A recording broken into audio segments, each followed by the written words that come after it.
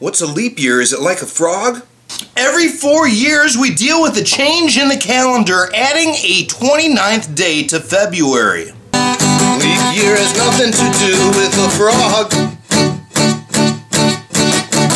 Leap year has nothing to do with a frog. Well, almost every four years. It turns out the year 1900 was not a leap year. Do you remember that? Yet 1900 is evenly divisible by 4, so what's wrong with that? Okay, so the average length of the tropical year, the length of time between two consecutive vernal equinoxes, is 365 days, 5 hours, and 49 minutes, or approximately 365.2424 days. So every year we accumulate the equivalent of a quarter day this is the basis of the Julian calendar, put into place by Julius Caesar in 45 BC. So it basically added an extra day every four years on top of the basic 365 days a year.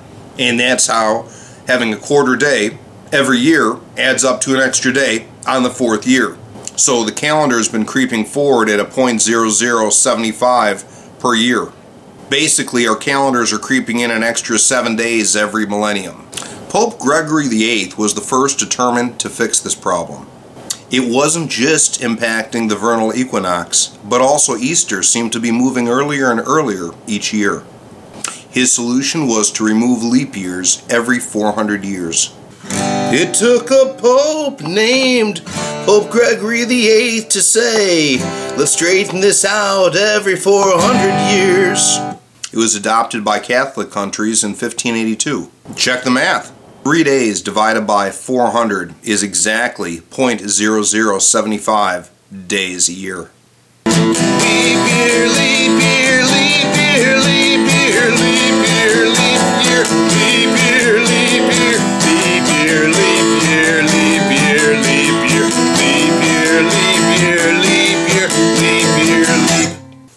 The rules for deciding a leap year goes like this. A leap year must be divisible by 4, but not if it's divisible by 100, unless it's divisible by 400.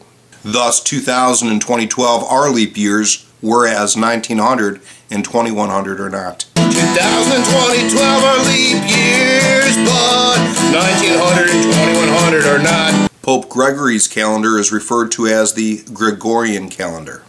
Unfortunately, the Gregorian calendar was not immediately embraced by all countries and many continued to follow the existing Julian calendar. Between 1582 and 1752, the calendars between Julian and Gregorian weren't consistent.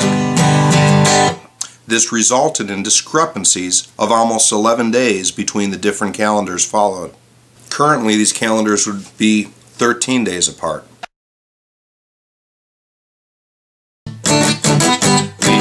Has nothing to do with a frog whatsoever,